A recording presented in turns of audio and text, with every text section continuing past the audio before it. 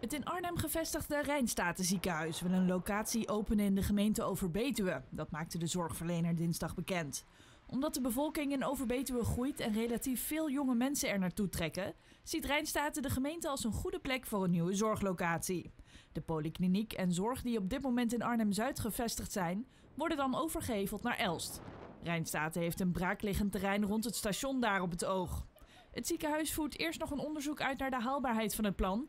De resultaten daarvan worden eind 2019 verwacht.